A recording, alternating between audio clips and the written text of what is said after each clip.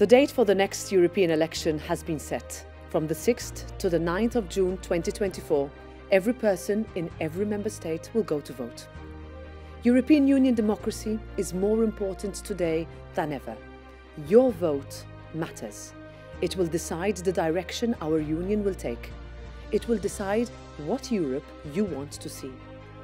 Over the past years, we have experienced a global pandemic, war on our continent, an energy crisis, inflation, and cyber warfare, all while the clock of a climate emergency keeps on ticking. The European Union has delivered. Our response has been unprecedented. We have come together in defense of our values and for our way of life. We have done this in solidarity.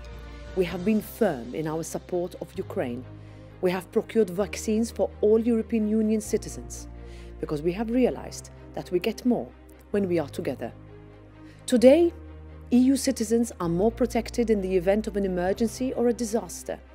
We have seen Romanian firefighters in Spain, French patients treated in Luxembourg hospitals, Slovenian rescue workers helping Italy, Estonian cybertech providing security for us all. That is solidarity. That is Europe. A Europe we cannot take for granted.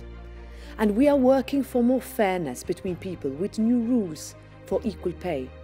Our new European migration laws will mean a process that is fair with those in need of protection, firm with those who are not eligible, and strong against traffickers exploiting the most vulnerable. Our new European climate laws will mean cleaner air, healthier rivers and seas, stronger economies.